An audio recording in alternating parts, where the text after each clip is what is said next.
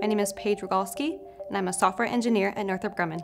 My interest in computer science was a slow process. It started around middle school when everyone had a MySpace, and getting to update my MySpace code on your own. You could update the HTML, customize it to whatever you want it to look like. I didn't realize at that time that that was technically a form of coding.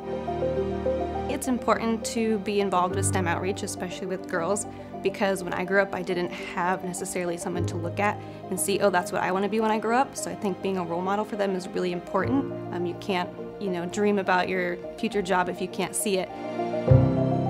My favorite part is seeing their enthusiasm, um, kind of when that light bulb goes off in their head and they think, oh, I got it, and then they get more excited about it and they want to keep trying either harder problems or keep doing it. Where at the end of their time limit, or if they're there, you know, for an hour, they say, no, I don't want to go, or how can I do this when I get back home? It's really encouraging in my outreach to see girls say they're more interested in learning about computer science. It just fills my soul. I get really happy and I can't help but feel passionate about my programs and my outreach and want to keep volunteering and keep making that happen for kids.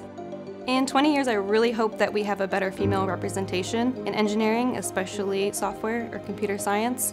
I think adding the thought process and the way women think to problem solving will make answers for solutions and problems even better and more creative in the future.